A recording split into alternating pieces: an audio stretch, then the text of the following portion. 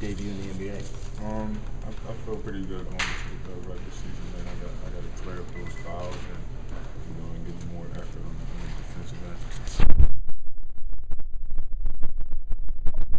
Level with the fouls, just kind of learning your role and, and when to make a move. and Make a move. Mm, not, not really. You know, uh, coach has confidence in me to, to go out there and play basketball. It's not, it's not really that fast. It's just, you know, just you get stuck in situations where I have to foul or, you know, or trying to get out of not fouling instead of fouls.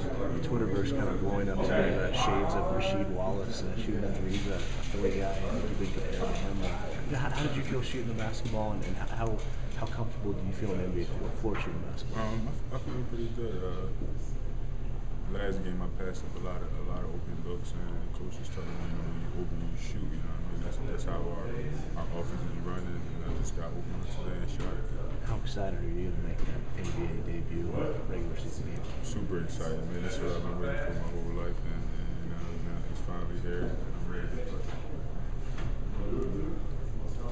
You and your uh, brother have a conversation before. Who be watching where? Where's mom going? Uh, she'll be here the 26th and the 28th, and then, then she's for, for the rest of the season. Coach said you didn't match up with Marcus's 20. He just keep telling me my, my 10 and 8 was, wasn't enough for his 20, his 20 and 3, but you know, he got good looks. man. He can shot. Are you, uh, how, how do you feel about the staff's confidence in you right now? They're Going right back to early in the second half, You especially. know, it, it, you know, it, just- it, it's just easier for me to play that. You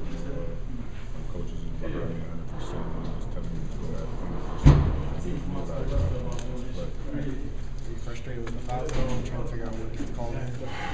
Man.